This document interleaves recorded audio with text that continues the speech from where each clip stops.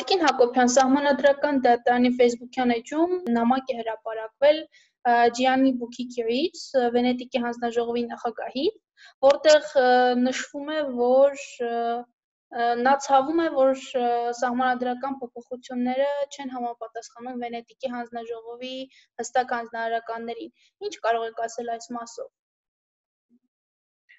Վենետիկի հանձնաժողովի հանձնարարականների մասով ոչինչ չեմ ասի, որովհետև Վենետիկի հանձնաժողովը չի կարող մեզ հանձնարարականներ տալ, նա կարող է տալ խորհրդատվական կարծիք եւ հենց այդ կառույցն էլ իր իսկ կարծիքում նշում է, որ դա հենց խորհրդատվական է։ Բայց որ ավելի կարևոր է,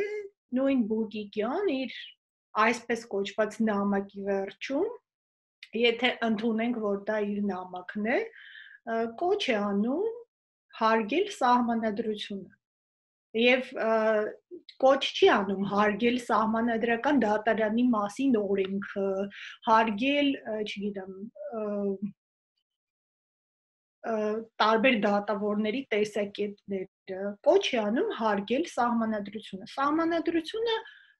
փոփոխված է 213-րդ հոդվածի մասով եւ այդ փոփոխությունները այսօր մտել են ուժի մեջ։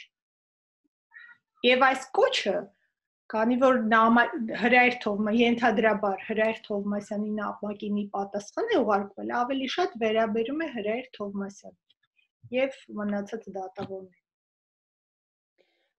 Շատ լավ, իսկ մի հարց էլ, այս դեպքում Վենետիկի խորհրդատվական կարծիքին չհետևելը Հայաստանի համար որևէ հետևանք կարող է ունենալ, թե ոչ։ Նայեք, մի հարց էլ կա որ ասում եք կարծիքին չհետևելը, կարծիքին հետևել են կարծիքում ասվել է, որ այդ փոփոխությունները ըստ էության ընդունելի են, որ դրանք լեգիտիմ նպատակ են հետապնդում, որ արկա է սահմանադրական դատարանի ճգնաժամ։ Հիմա եւ առաջարկել են անցումային փուլով անել սա։ Հիմա թե անցումային փուլը ինչ տևողությամբ է դիտարկում մեր իշխանությունը, դա արդեն մեր իշխանության եւ մեր հանրության խնդիրն է։ Մեր հանրության պահանջը եղել է այդ խնդրի շուտապույտ լուծումը։ Այս ճգնաժամը իր այս տեսքով երկար շարունակվել չէր կարող։ Եվ անցումային փուլը իրապես թողնված է մեր հայեցողությանը եւ ճիշտ է, որ անցումային փուլը այս պարագայում չի սահմանվել եւ արագ է հարցը լուծվել, որովհետեւ այդ խմբակը այդ կազմով մնալով այնտեղ կոնկրետ քաղաքական շահեր էր սպասարկում եւ այլևս այդ ուրեմն տեսքով այդ դատարանը չէր կարող գործել Տիկին Հակոբյան, իրավաբանների մի մասը, ինչպես նաև երեք դատավորները, որոնք պետք է հեռանան, այո, ըստ էության այդ որոշումը ընդունմամբ համանդրական դատարանից նշում են, որ նորմերը չեն կարող կիրառվել, ընդունված նորմերը չեն կարող կիրառվել։ Այս դեպքում, եթե իրենք հրաժարվում են հեռանալ դատարանից եւ շարունակում են զբաղեցնել օրինակ իրենց գրասենյակը, այդ դեպքում ինչ հետևանքներ պետք է ունենա սա։ Նորմերը ինչու չեն կարող կիրառվել։ Նորմերը մտել են ուժի մեջ։ Հայաստանի Հանրապետության ժողովրդի կողմից ձևավորված լեգիտիմ խորհրդարանը կատարել է սահմանադրական փոփոխություններ,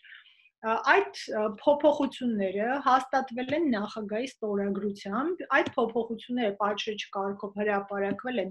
ազգային ժողովի նախագահի կողմից եւ դրանք այսօր մտել են ուժի մեջ ես որևէ պատճառ չեմ տեսնում դրանք չկիրառելու համար։ Եթե պատճառաբանություն է բերվում այն, որ այդ նախագիծը չի ուղարկվել սահմանադրական դատարանի եզրակացությանը, ապա այդ նախագիծը չէր էլ կարող ուղարկվել սահմանադրական դատարանի եզրակացությանը այն պատճառով, որ սահմանադրական դատարանի արդեն նախկին անդամները չունեին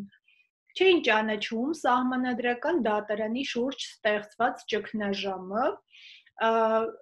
հակառակ հանրային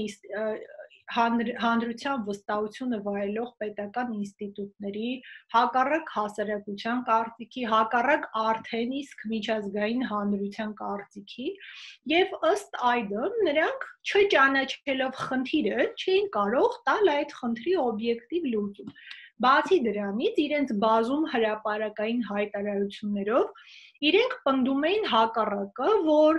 այդ ամենով եւ մի տևական ժամանակ պնդում էին դա, որ այդ ամենը խախտում է իրենց իրավունքները, որ իրենք իրենց զբաղված են իրենց բնականոն գործունեությամբ եւ արդեն 2 օր առաջ բարձրաձայնում էին, որ այդ փոփոխություններով խախտվում են իրենց իրավունքները, իրենք չեն կարող այդ պարագայում իրենց վարկերը հոգալ, մեկը թողել է եվրոպական դատարանում իր բարձր աշխատավարձը, խոսում էր այստեղից նմանատիպ աշխատավարձ ստանալու ակնկալիքի մասին, մյուսը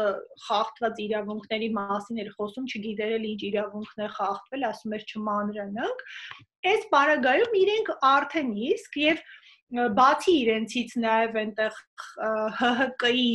շահերը սпасարկող բազում իրավաբաններ տարբեր առիթներով հարցազրույցներով նույն ընդդումներն են անում, որպիսի քեն հրայր Թովմասյանի խորհրդականներ եւ այս պարագայում իրենք իսկ արդեն բարձրաձայնել են իրենց դիրքորոշումը եւ եւս մեկ անգամ այդ հարցերը ուղարկել կանխած հասկանալով թե իրենք ինչ դիրքորոշում պետք է արտահայտեն, ակնհայտ է որ սխալ կլիներ եւ և հենց չեր էլ Փարատի Վենետիկի հանձնաժողովի այն մտահոգությունը, որ որևէ կասկածներ չպետք է լինեն առայն, որ այդ հարցը քննող սահմանադրական դատարանի կազմը անձնական շահագրգռությունից վեր կարող է քննել այդ հարցը։ Մինչդեռ արդեն իսկ այդ անդամների հրաապարակային հայտարարություններից པարզ էր, որ իրենք իրենց էլ ճանաչում են որպես շահագրգիռ կողմ եւ չէին կարողանա անկողմնակալ քննություն իրականացնել, ինչպիսի պահանջ անհրաժեշտ է որpիսի պահանջի բավարարումը անհրաժեշտ է այս պարագայում Եթե այս դեպքում Ֆելիքս Թոխյանը, Հրանտ Նազարյանը, Ալվինա Գյուլումյանը օրինակ հրաժարվում են իրենց աշխատասենյակներից դուրս գալ, այս դեպքում հարկատի, հա, հարկադրաբար նրանց պետք է դուրս բերել սահմանադրական դատարանից, ինչ է նախատեսվում։ Նախ մեկ անգամ եւս ուզում եմ հիշեցնել, որ սահմանադրական փոփոխությունները ուժի մեջ են եւ այդ փոփոխությունները չկատարելը սահմանադրական դատարանի այն անդամների կողմից, որոնք ըստ սահմանադրական դատարանի մասին օրենքի երթվել են պահպանելու սահմանադրության գերակայությունը, հանցագործությունը եւ պետք է համապատասխան իրավական գործընթացների արժանանա։ Դրա հետ մեկտեղ դատարանը կազմական լիազորություններ ունեցող մարմինները, որտիսիք են կառավարությունը, հանրապետության նախագահը եւ դատավորների ընդհանուր ժողովը, պետք է ձեռնամուխ լինեն նոր դատավորների առաջադրումներին, իսկ ազգային ժողովը պետք է երկու ամսվա մեջ ընտրի նոր դատավորներ եւ արդեն իսկ այնտեղ process-ները կգնան իրենց ունով։ Նրանց այնտեղից, այսպես ասած, այդ շենքը նրանցից ազատելը զուտ տեխնիկական հարց է։ Հրեկ Թոմասյանը արցակուրթում է արդեն, դա խոչընդոտում է որևէ կերպ, որպիսի ՍՏ նախագահի պաշտոնում նրա պաշտոնավարումը դադարեցվի, թե ոչ։ Որևէ կերպ դա չի խոչընդոտում։ Ոմանք նշում էին, որ մինչև քանի դեռ նա արցակուրթում է, նա դեռ շարունակում է մնալ ՍՏ նախագահ եւ այլն մինչև չվերադառնա։ Ես նորից հիշեցնեմ, որ Հրեր Թովմասյանը եւս որպես սահմանադրական դատարանի անդամ երթվել է պահպանելու սահմանադրության գերակայությունը եւ պետք պարտավոր է առաջնորդվել իր երթմամբ։ Այսպիսով այս նախագծի ընդունմամբ կարելի է համարել, որ սահմանադրական դատարանի ճգնաժամը ավարտված է։ Այո, կարելի է համարել, որ Հայաստանի Հանրապետությունում ժողովրդի վստահությունը վայելող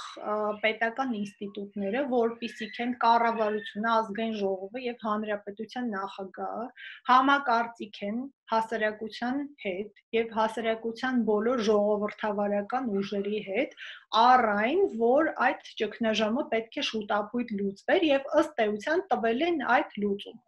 Եվ այո, սրանով կարող է հայտարարվել, որ այդ ճգնաժամը ավարտված է։ Նոր անդամների մասին խոսելով դուք ում եք տեսնում որպես ՍԴ դատավորի տեխնատուներ։ Ես չեմ կարող ասել, ես միայն կարող եմ ասել այն չափանիշները, որոնք արկա են սահմանադրության, որ այդ անձը պետք է ունենա բարձր հանրային հեղինակություն, բարձր մասնագիտական որակներ եւ կարծում եմ, որ այդպիսիք կան մեր հանրությունում եւ պետք է իշխանությունը իրոք կատարի այդպիսի առաջադրումներ եւ ազգային ժողովն էլ ընտրի հենց այդպիսի տեխնացուներ։